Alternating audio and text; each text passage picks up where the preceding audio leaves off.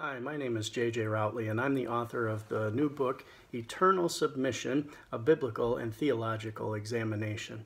This book discusses the question of whether or not Jesus the Son is eternally submissive or subordinate to the Father as it relates to their eternal relationship. Now, there's a heated debate in evangelicalism today about the Son's submission. Some want to say the Son only submits to the Father in his humanity, but is fully equal with God the Father eternally, both in his essence and in their personal relationships.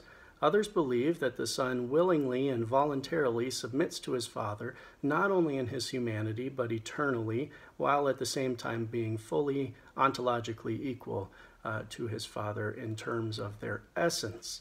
Now, much has been written recently against the Son's eternal submission, and many of the arguments place heavy emphasis upon uh, creeds and confessions of the early church. Although the history and tradition of the church is very important to this discussion, I felt that at times the scriptures themselves were being overlooked in this debate. So, this book takes a look at a biblical and theological argumentation for the eternal submission of the Son, paying careful attention to several passages of Scripture.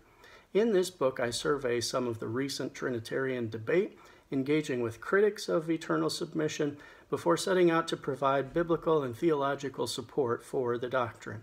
I also address implications of this debate for Trinitarianism and for theological anthropology as it relates to gender roles uh, in the church and in the home.